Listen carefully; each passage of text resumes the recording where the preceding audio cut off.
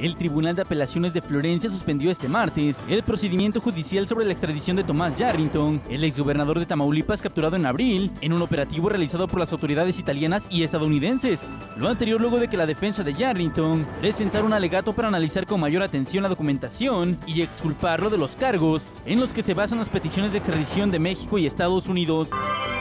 El gobierno de Venezuela declaró personas no gratas a los expresidentes Jorge Quiroga de Bolivia, Andrés Pastrana de Colombia y Laura Chinchilla y Miguel Ángel Rodríguez de Costa Rica, quienes fueron observadores del plebiscito simbólico realizado el domingo pasado por la oposición en contra de la creación de la Asamblea Constituyente, impulsada por Nicolás Maduro, luego de que los exmandatarios pidieran a la ONU y la Organización de Estados Americanos avalar los resultados del plebiscito para evitar que la crisis de Venezuela provoque más muertes. No entrarán más a Venezuela, abusaron de la generosidad de nuestro pueblo, declaró el gobierno.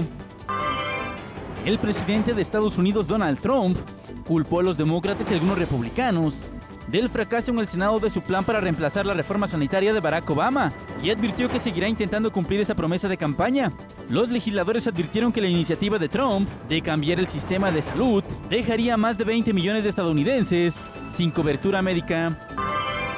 El ranking 2016 de la Organización Mundial de Turismo colocó a México en el octavo lugar a nivel mundial entre las naciones que reciben el mayor número de turistas internacionales. Detalló que al cierre de 2016, 35 millones de turistas internacionales arribaron al país, lo que permitió a México pasar del noveno al octavo lugar. También destacó que México es el segundo país que más turistas recibió en el continente americano durante 2016, tan solo por detrás de Estados Unidos.